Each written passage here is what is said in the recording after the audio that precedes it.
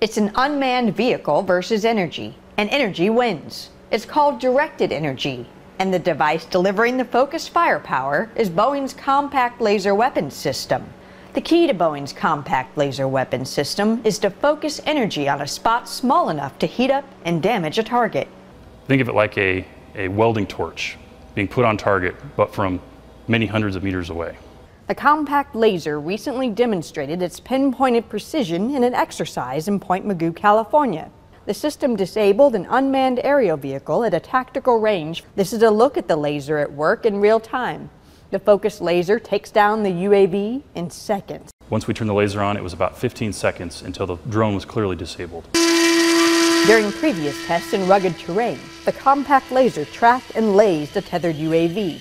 Watch the silent, invisible laser suddenly ignite the vehicle. If you were on the receiving end of laser energy, you would have no idea where it was coming from or what was even happening. It's made up of four parts a water cooled chiller, battery power supply, a fiber laser, and an upgraded beam director.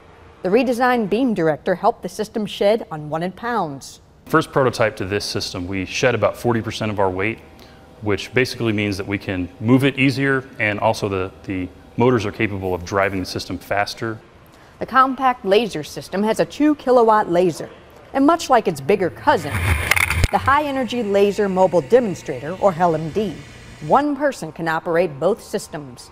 And like the name implies, the compact laser system touts portability. It's uh, four boxes with uh, very simple interconnects. While lasers have long been the staple of science fiction, the technology is on the brink of becoming battlefield ready. They're able to engage targets. Boeing has an edge in this since we've been working lasers for tens of years.